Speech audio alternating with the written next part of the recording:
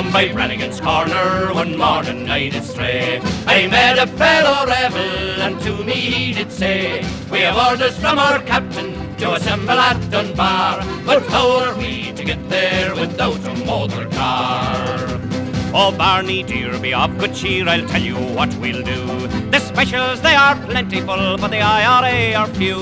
We'll send a wire to Johnson to meet us at Stranorlar, and we give the boys a bloody good ride in Johnson's motor car. When Dr. Johnson heard the news, he soon put on his shoes. He said, This is an urgent case, there is no time to lose. He then put on his castor hat and on his breast a star. You could hear the din all through Glenfin of Johnson's motor car. Ah, but when he got to the railway bridge, the rebels he saw there.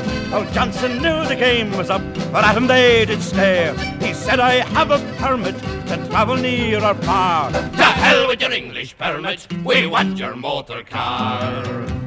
What will my loyal brethren think Car, it has been commandeered by the rebels at the loose. He'll give you a receipt for it, all signed by Captain Barr. Now when Ireland gets her freedom, by you'll get your motor car. Well, they put that car in motion and filled her to the brim. With guns and bayonets shining, which made old Johnson grim. And Barney heist to the Sinn Féin flag, for their leg a start. And we give cheers for the IRA